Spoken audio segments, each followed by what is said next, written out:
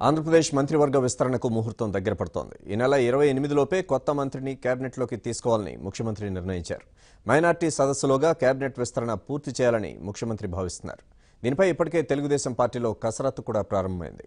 మంత్రివర్గంలో రెండు ఖాళీలు ఉండగా ప్రస్తుతానికి ముస్లింలకు బెర్త్ కేటాయించడం వరకే పరిమితం అవుతారని చెబుతున్నారు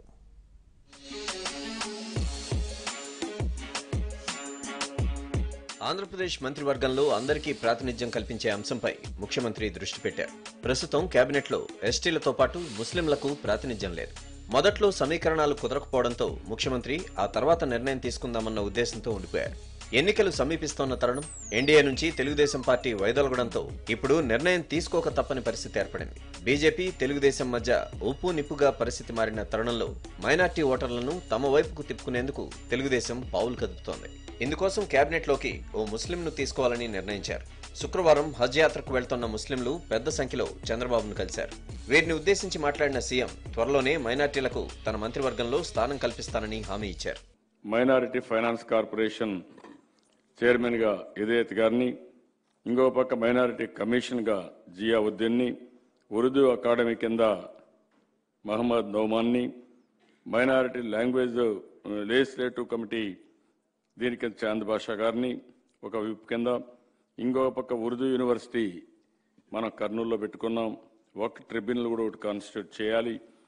ఇది కాకుండా మైనారిటీ మంత్రి కూడా ఒకరికి ఇవ్వాల్సిన అవసరం ఉంది. మైనార్టీలను కేబినెట్లోకి తీసుకుంటామని ముఖ్యమంత్రి ఇప్పటికే రెండు మూడు సార్లు ప్రకటించారు. ఈ నెల ఇరవై ఎనిమిదవ తేదీన గుంటూరులో మైనార్టీ సదస్సు నిర్వహిస్తాం. కేంద్రం నుంచి వైదొలగడం ఏకంగా బీజేపీ ప్రభుత్వంపైనే అవిశ్వాస తీర్మానం ప్రవేశపెట్టడంతో తెలుగుదేశం పార్టీకి ముస్లింలలో కొంత సానుకూలత వచ్చిందని ప్రచారం జరుగుతోంది. వారికి మరింత దగ్గరయ్యేందుకు చంద్రబాబు కసరత్తు చేస్తున్నారు. పార్టీలో ఎప్పటినుంచో పనిచేస్తున్న ఎమ్మెల్సీ షరీఫ్ను కేబినెట్లోకి తీసుకోవాలని భావిస్తున్నారు. ఆయన పశ్చిమ గోదావరి జిల్లాకు చెందిన నేత. అనంతపురం జిల్లా కదిరికి చెందిన ఎమ్మెల్యే చాంద్ బాషాను తీసుకోవాలని తొలుత భావించారు. కానీ రాజకీయ పరిస్థితులు ఇబ్బందికరంగా మారుతాయని వెనక్కి తగ్గారు. అయితే తెలుగుదేశం పార్టీలో తాజాగా మరో కొత్త వాదన బయలుదేరింది. రాయలసీమలో మైనార్టీల సంఖ్య ఎక్కువ కాబట్టి ఆ ప్రాంతం నుంచి ముస్లిం అభ్యర్థిని కేబినెట్లోకి తీసుకుంటే బాగుంటుందని కొంతమంది నేతలు అధినేతకు సూచిస్తున్నారు. ఇప్పటికే కర్నూలు నుంచి ఎమ్మెల్సీగా ఉన్న ఎన్ఎండి ఫారూక్ శాసనమండలి చైర్మన్గా ఉన్నారు. ఆయన్ను కేబినెట్లోకి తీసుకుంటే ఎలా ఉంటుందన్న అంశంపై కూడా ఇటీవల చర్చ జరిగింది. కానీ షరీఫ్ను కేబినెట్లోకి తీసుకుంటే ఇరువురు ముస్లిం నేతలకు అత్యున్నత పదవులు కట్టబెట్టినట్లవుతుందని దేశం వ్యూహకర్తలు తుది నిర్ణయానికి వచ్చారు. ముహూర్తాలన్నీ కుదిరితే ఈ నెల ఇరవై ఎనిమిదవ తేదీన జరిగే మైనార్టీ సదస్సు లోపు షరీఫ్ను తీసుకునే అవకాశం కనిపిస్తోంది.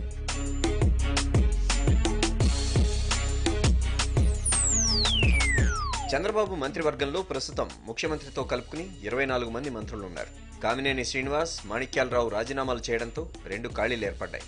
కానీ ప్రస్తుతం ఒకరితోనే సరిపడతారని భావిస్తున్నారు. ఎస్టీలకు కేబినెట్లో స్థానం లేకపోవడంతో పాడేరు నుంచి వైసీపీ తరపున ఎన్నికై తెలుగుదేశంలో చేరిన గిడ్డి ఈశ్వరి పేరు కూడా తొలుత పరిశీలనలోకి వచ్చింది.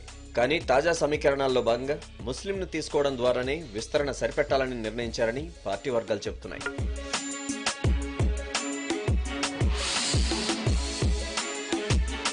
వైద్య ఆరోగ్య శాఖ విషయం ఇప్పుడు హాట్ టాపిక్ అయింది. కామినేని శ్రీనివాస్ గతంలో ఈ శాఖను నిర్వహించారు. ఆయన స్వయంగా డాక్టర్ కూడా. అయితే ప్రస్తుతం ఆ పదవికి ఎవరిని ఎంపిక చేయాలన్న అంశంపై కూడా చర్చ జరుగుతోంది. రాష్ట్రంలో వైద్య ఆరోగ్య శాఖకు మంత్రి లేకపోవడంపై ఇటీవల జనసేన అధినేత పవన్ కళ్యాణ్ వైసీపీ అధినేత జగన్లు ప్రభుత్వంపై విమర్శలు చేశారు. ప్రజల ఆరోగ్యాన్ని పట్టించుకునే నాదుడే కరువయ్యాడని ఆరోపించారు. కేబినెట్లో ఉన్న మంత్రుల్లో డాక్టర్లెవరూ లేకపోవడంతో ఇప్పుడు ఏం చేయాలన్నది తెలుగుదేశంకు సంకటంగా మారింది. గతంలో ఆ శాఖ నిర్వహించిన కోడెల శివప్రసాద్ ప్రస్తుతం స్పీకర్గా ఉన్నారు. ఇప్పుడు ఆయన్ను ఆ స్థానం నుంచి కదిలించేందుకు సీఎం ఇష్టపడడం లేదు. మిగతా వారిని ఎంపిక చేయడానికి ఆయనకు జిల్లాల సమీకరణాలు కుదరడం లేదు. కాంగ్రెస్ హయాంలో వైద్య ఆరోగ్య శాఖ మంత్రిగా మాజీ ముఖ్యమంత్రి రోసయ్య వ్యవహరించారు.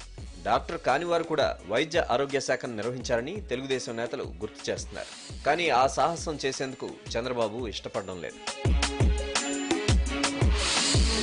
తెలుగుదేశంలో మంత్రివర్గ పరిమిత విస్తరణ ముహూర్తం సందర్భంగానే పునర్వ్యవస్థీకరణపై కూడా ప్రచారం జరుగుతున్నప్పటికీ దీనిని తెలుగుదేశం పార్టీ నేతలు కొట్టిపారేస్తున్నారు. అటువంటి నిర్ణయాలు ఉండబోవని అంటున్నారు. ప్రస్తుతం ఉన్న మంత్రులతోనే ఎన్నికలకు వెళ్ళాలని చంద్రబాబు మానసికంగా సిద్ధమయ్యారని చెబుతున్నారు.